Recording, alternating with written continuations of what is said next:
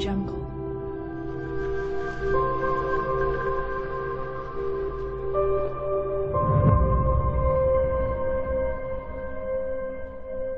Audio Jungle.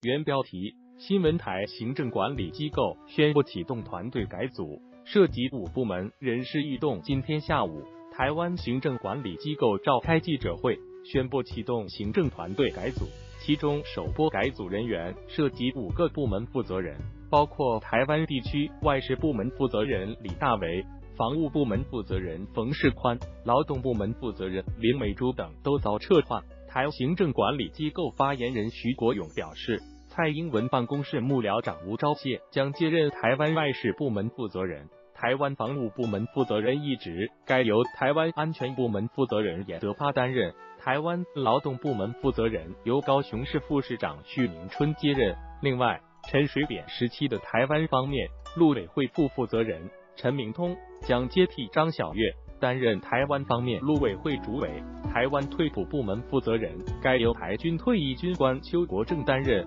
对于这波人事异动，台湾媒体早在二十一日就有渲染，不过台当局高层随即进行否认。民进党中执会也闭口不谈改组。然而才不到两天，台行政管理机构就宣布了改组决定。有岛内舆论分析指出，民进党当局此波行政团队改组，主要是为了因应年底的台湾地区县市长选举，加紧人事布局。据台湾媒体报道，台行政管理机构负责人赖清德在台南的子弟兵或许将北上，进入台湾交通部门、内务部门等单位担任要职。其中，台南市政府秘书长吴新修已经亲自证实，将准备北上就任台湾内务部门所谓的营建处长。厦门卫视记者综合报道：XMGD 二零幺五 SMAT 三九九六 SMAT